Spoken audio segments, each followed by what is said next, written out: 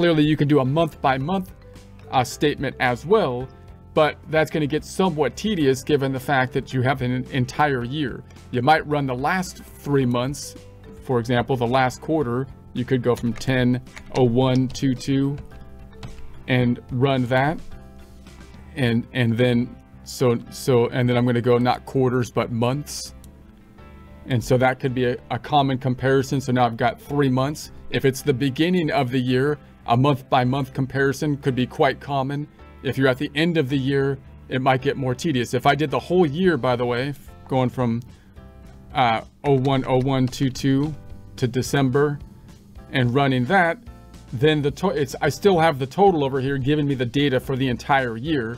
So you could, you know, run a report such as that as well. When you print this report, you got to be careful because now it's going to be quite wide. So you want to still try to fit it on one page wide. It becomes a bit of an issue there, but you might do something like that. You could have an income statement by month by month.